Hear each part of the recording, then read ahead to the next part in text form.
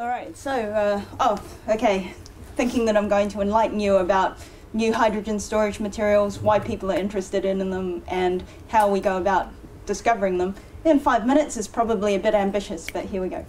Uh, all right, hello, I'm a materials scientist, which means that I'm fascinated by materials that have interesting physical properties. So uh, that's why I went into scientific research in the first place, to make new materials. But um, being a scientist, uh, you're driven not only by curiosity, but also the, uh, the desire to solve a big problem. Uh, in my opinion, one of the most pressing and one of the scariest problems that we face in, in our generation is the problem of energy. So the, the fact that there's not enough energy to go around, fossil fuels are limited in supply and they're geographically unequally distributed, which leads to conflict. Um, by using fossil fuels, we generate carbon dioxide, uh, and which has been implicated as a greenhouse gas, and uh, that leads to global warming, which is a problem for everyone. So you can see that there are a number of, of environmental, economical, and ethical reasons that we want to move away from fossil fuels to more renewable resources.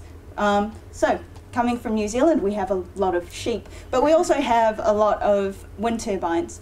Uh, now, if you if you go and look at these turbines on um, on a day when energy demand is low, uh, you'll see that there aren't many of these turbines spinning. And that's because we have no good way of being able to store the energy that comes out of, of renewable resources such as uh, wind power or solar energy to be able to use it when the sun isn't shining, for example.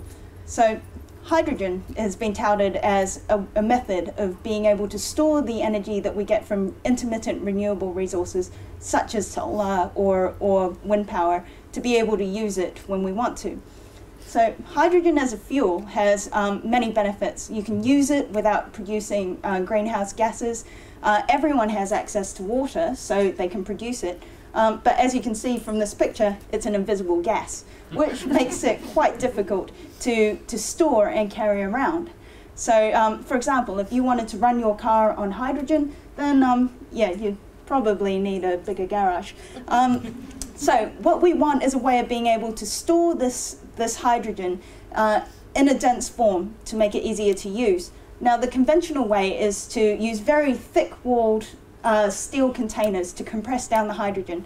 But you can see, uh, looking at the, the ceiling of this hydrogen bus in London, if you were taking one of these, these cylinders and putting it on top of a, a Morris Minor, you can see where the problem is. So solid state hydrogen storage is, is a way of overcoming this problem. So uh, solid state storage, um, I'm talking about using smart materials to condense the hydrogen uh, into a, a, usable and transportable form. So one of my favorite classes of materials for, for doing this is um, nanoporous materials. So these are materials that have been described as being molecular sponges. So they've got very tiny pores, uh, like much smaller than the width of a human hair. And they can compress and suck in and compress this hydrogen to a density that you wouldn't be able to achieve otherwise. So these materials, by, by virtue of their structures and the interaction between the atoms that make up the, the molecular sponge and the hydrogen, uh, can store uh, hydrogen and make it easier to move around and use. Now, as a material scientist, I'm interested in the interplay between the structures of these materials and their physical properties. For example, the, the gas storage capacity. So if we can understand the structure, then we can understand how to make better materials. So the way we look at these is by using fantastic, complicated uh, techniques. For example, we play around a lot with X-rays and neutrons, which can penetrate a solid material to look at the hydrogen inside so that we can see where it is, how it's distributed, what sort of um, uh, geometrical and, and chemical conditions it prefers, so that we can use this information to design the next generation of hydrogen storage materials. So by, by getting a greater understanding of um, the best way to design new materials is how we take materials like this um, from the lab into the real world so that we can start using them for real world applications.